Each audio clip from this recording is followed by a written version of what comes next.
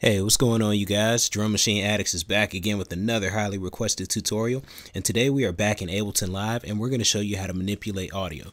Now, when we say manipulate audio, we mean everything from how to merge clips, uh, how to throw effects on it, how to use it in sampler, that kind of thing. So, without further ado, let's go ahead and begin.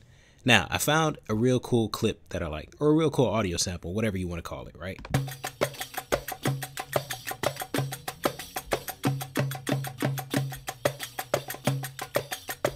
All right.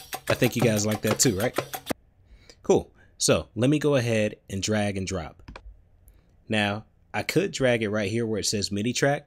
And the cool thing about Ableton is even though this is a MIDI track, boom, I can just go ahead and put this right here.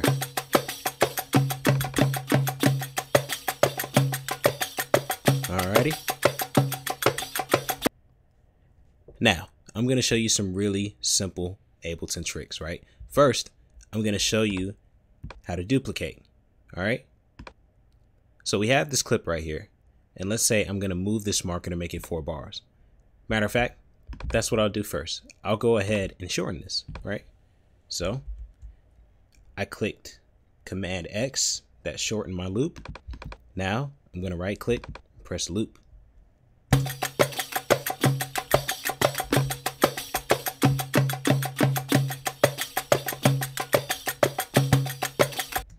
All right. Now that loop was a little bit longer than uh, four bars. That's why it sounds a little bit off. But let's say I like what I have so far, right? Let's say I want to duplicate that. If you have a Mac, all you have to do is press Command D, Command D, Command D, Command D, Command D, and I keep uh, pressing that. And now we have all these clips. Now you have all these clips, right? Let's say from here, you want to merge them all into one piece of audio. All you have to do is select the whole section press Command J. Boom. Now there are no more separated pieces of audio. They're all one piece of audio. All right. So with that, we just showed you how to duplicate samples and how to merge them into one clip. From there, you can really do what you want. You can go back to your audio effects, uh, go to the actual track, And an interesting thing worth noting is, uh, mind you, this is an old uh, project app loaded up. This is actually an audio track. And you can tell because it's letting you drop audio effects here and stuff like that. And normally if you try to drop an audio track on a MIDI track, it'll try to turn it into MIDI or something like that. But anyway, from there, just do what you want.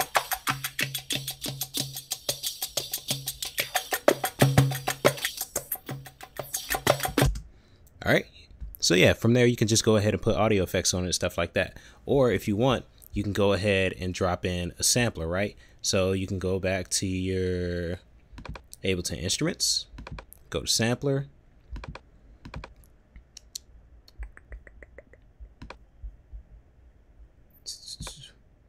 All right, and I put it on the second MIDI track. So then it says drop sound, drop sample here. Oops.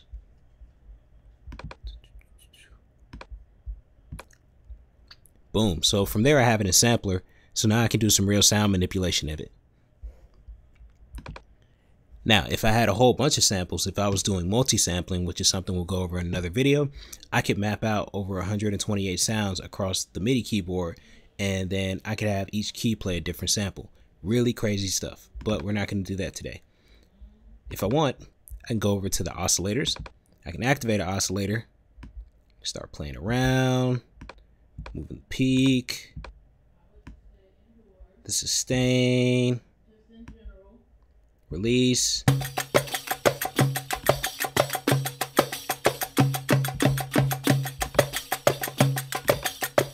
Start playing with the type of wave.